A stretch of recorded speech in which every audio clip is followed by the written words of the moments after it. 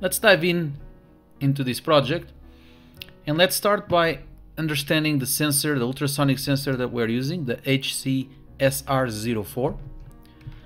So I'm going to pull the datasheet. I just Google datasheet of the HC SR04, come up with this one.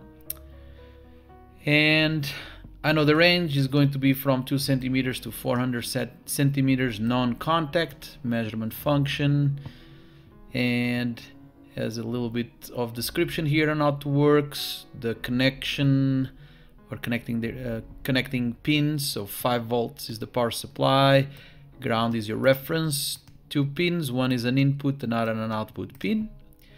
It consumes around 15 milliamps works at 40 hertz. It has a measuring angle uh, which is very this is important 15 degrees We'll see in a minute what does it mean this trigger and echo, this TTL pulse. This is how the sensor looks like. So we have access to the VCC, trigger, echo, and ground pin. And we have the timing diagram.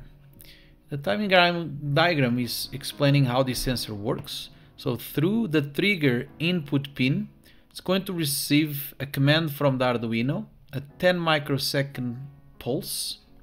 It's going to tell the sensor to send a sonic burst um, through the medium that is going to bounce eventually in objects and then reflect that back. And then on the pin, the uh, output pin, the echo pulse, is going to raise the pin high and is going to wait for that echo to come. And whenever that echo is detected, this square wave goes down. So this output echo pulse is going to have different ranges. It can be shorter if it detects objects very close to the sensor, or it can be longer if it detects uh, objects further away from the from the sensor. It tells you the formula that you can use to calculate. So now if I know the time that I spend here on the on the high level of my pulse, if I do that divided by 58, I will know the distance in centimeters. Or if I do divided by 148, I get the distance in inches. They also suggest, and this is an important step, to use over 60 milliseconds measurement cycle. So when I do this pulse and all this stuff here happens, whenever I want to do a second pulse, at least I should wait 60 milliseconds total before I issue a pulse. They give you a little bit of details here. Make sure that the terminal should be connected to the module first, otherwise it will affect the normal work of the module. So make sure that you have your wires all connected before you turn on your system. And